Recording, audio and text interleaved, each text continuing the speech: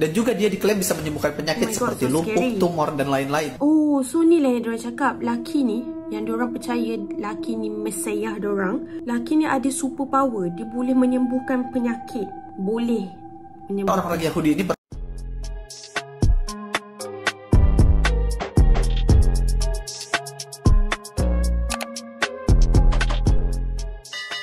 Hi guys, Assalamualaikum. Welcome back to my YouTube channel. Hi guys. Okay guys, so hari ni kita nak serius sikit sebab kita nak bincangkan pasal uh, satu bagi aku isu ni memang besar sebab dia melibatkan macam lebih kurang macam dajal macam tu kot.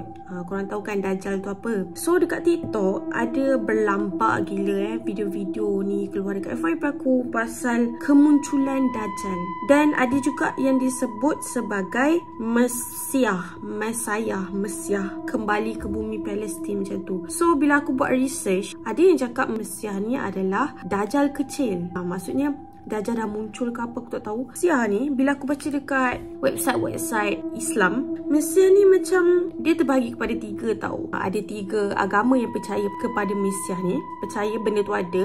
Agama Islam, agama Kristian dengan agama Yahudi. Senang cerita aku bacakan kat or- kat korang eh. Okay, Mesiah merupakan istilah yang wujud dalam kepercayaan dan keagamaan pada hari ini dalam bahasa Arab. Agama Islam Mesiah disebut sebagai Al-Masih. Kristian pula digunakan untuk umat Kristian dalam bahasa Inggeris. Mesiah merupakan watak penting bagi Islam.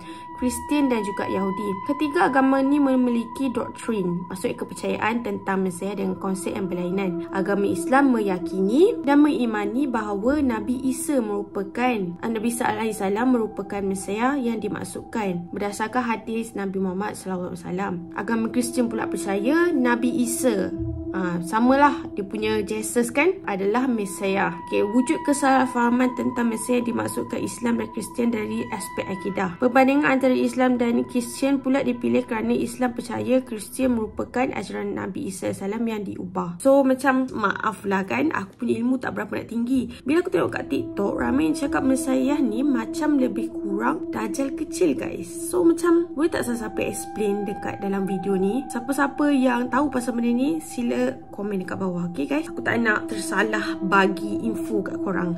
So kita nak tengok video-video dekat TikTok pasal kemunculan Messiah ataupun ada orang cakap ni dajal kecil guys. So kita tengok sama-sama. Ada juga yang explain pasal benda ni dan kalau ada yang copyright tu aku akan silentkan lah. Okay. Okay guys. So yang ni eh. Semua sibuk dengan politik sedangkan Dajjal kecil sudah isytiharkan dirinya. Okay, lagu Alan Walker ni pun orang kata ada disebut tentang lebih kurang macam Freemason je. Freemason korang tahu lah kan Dajjal macam tu lah kan. Okay. So, aku akan silent. Scary tau gambar ni. Aku tak boleh tau tengok, tengok gambar ni. Aku macam beremang. Ini kan gambar Dajjal kan yang diorang buat. Okay guys. Seterusnya dia cakap, Mesiah yang ditunggu Yahudi sudah muncul di negara Israel. Dan diorang kata, ada seorang lelaki ni, diorang percaya yang lelaki ni, orang Israel lah, Israel Yahudi percaya yang lelaki ni adalah Mesiah diorang. Okay. So, Mesiah ni Dajjal ke ataupun, ah itulah. Hmm. Tak apa, korang, korang tengok dulu.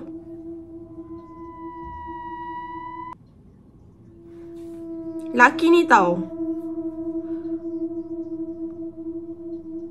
Aku akan tutup sound sebab copyright. Ini kat Israel rasanya ni.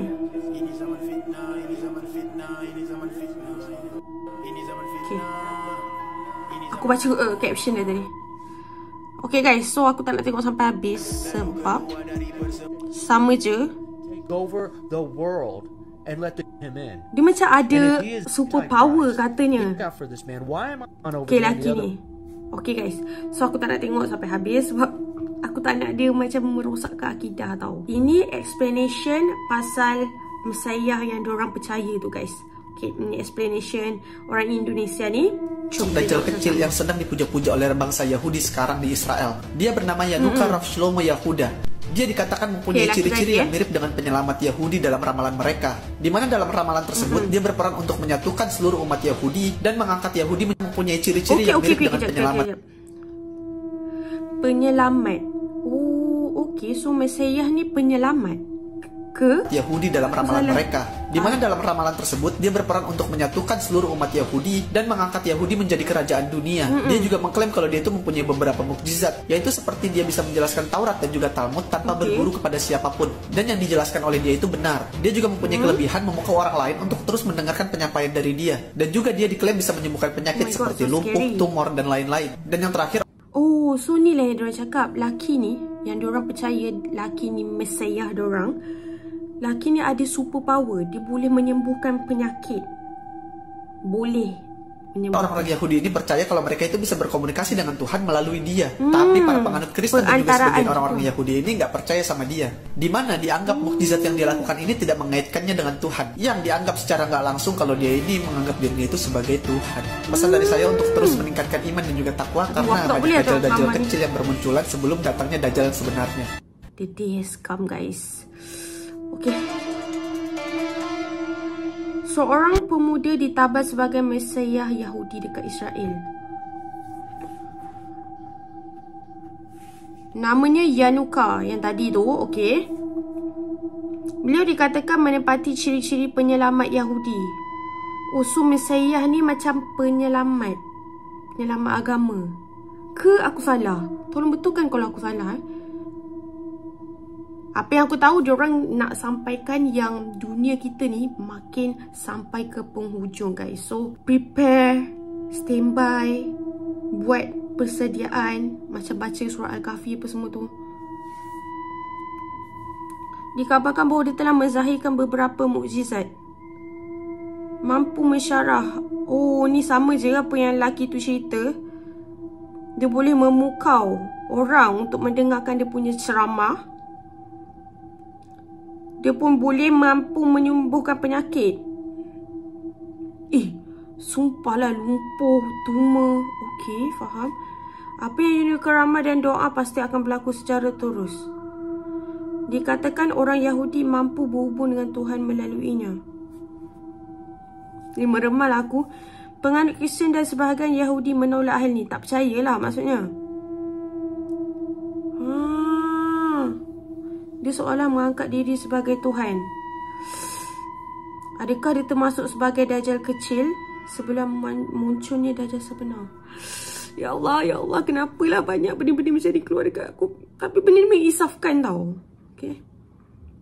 Bersiap sedia dengan satu kemungkinan yang besar. Kemunculan Mesias semakin dirasai. Ni yang diorang percaya laki tu kan? Yanukarov Shlomo adalah Shlomo. Oh my god. Shlomo.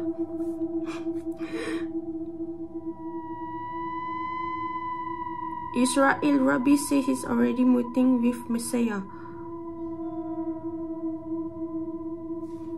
Ooh. Siapa penyelamat tu? Ah. Dikatakan pemuda itu ber-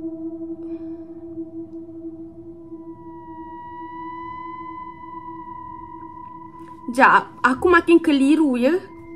Tak apa, tak apa.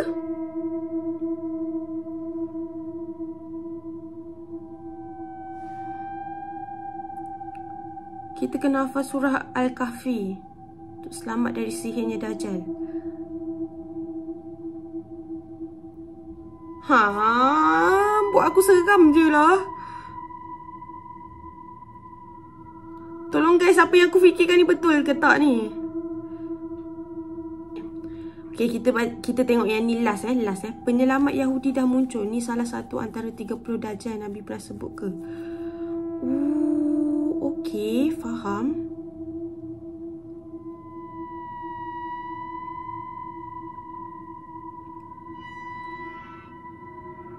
Jangan kau lupa peristiwa hitam 3 Mac. Semenjak kejatuhan pada umat terus ditimpa musibah. Okey.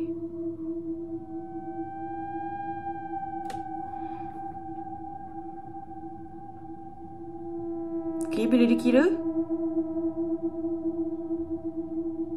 Yang paling penting iman aku dah cukup kukuh ke? Okey, okey faham. Ih. Aku tak boleh lah tengok konten-konten macam ni. Dia jadi macam menginsafkan tau. Kau rasa macam kau nak buat benda baik je. Faham tak? Kau nak beramal je sebab dunia dah nak dekat kiamat guys. Siapa-siapa yang betul-betul faham pasal benda ni tolonglah share dekat komen. Aku tak nak pemahaman aku salah dan aku sampaikan benda yang tak betul dekat aku punya subscriber, dekat aku punya follower. Okay guys, so semua ni banyak mengajar kita untuk kita bertaubat dan juga buat banyak-banyak persediaan untuk menghadapi hari kiamat guys. So, sama-samalah kita beramal dan tu saja untuk video kita hari ni. Jangan lupa untuk beramal guys, okay?